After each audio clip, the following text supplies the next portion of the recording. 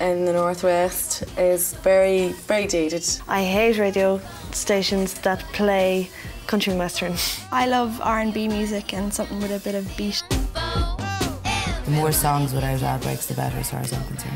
We don't want to listen to the the deaths and all the notes and Yeah. stuff Yeah, like that, the death and, and the firm news. The firm news. Death notices.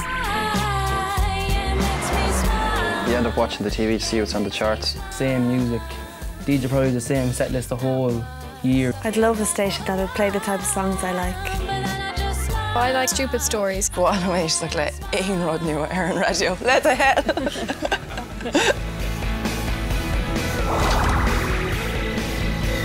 Something a bit more interesting than hearing the same DJs sort of talk on to councillors ringing in, having county council stuttering on the phone every for about an hour every morning. If you're on to music, I don't want to hear your voice anymore.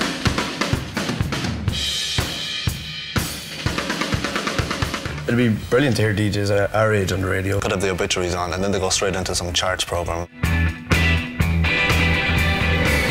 I really don't want to hear death notices anymore. The attempts to play like sort of music you get nowadays. It seems to me when I listen to them that they sound like they just like listening to their own voice and they're really having having the crack. I would love radio that stimulates me. Everybody just looks the same, but then last night was so much fun. And now your sheets are. Maybe having two D- DJs on a shorter time, so there's a little bit of an interplay, getting a bit more of a feel, a friendlier feel going. If you're um, entering a competition on the radio for a gig in Cork Yeah. or a gig in Dublin or a gig in Belfast, are you honestly going to bother?